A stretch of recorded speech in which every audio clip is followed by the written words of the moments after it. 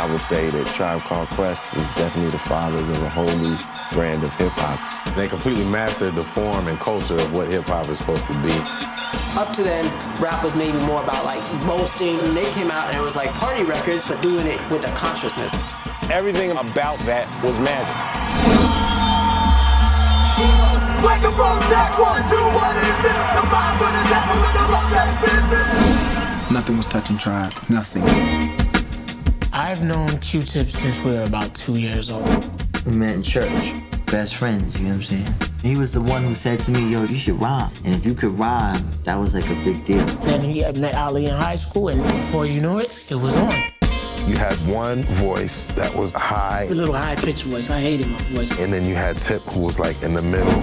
And that was always a dynamic. The yin and yang of those two, that to me was the perfect marriage. Oh, can I kick it? These are the drums.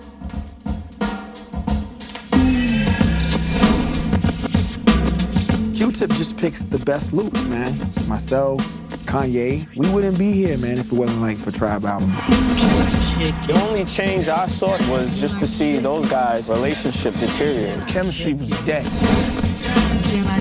I've never had a problem. Phife had a problem with me. If I'm asking you a so wrong, say it. Dude, I'm in a group with you. You're not my dad. That was it for me.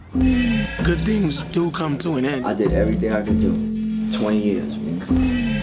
Is a tribe called Quest gonna make more music? You got the answer to that question? I, it's gonna be one interesting documentary. As the tribe flies high like a dove.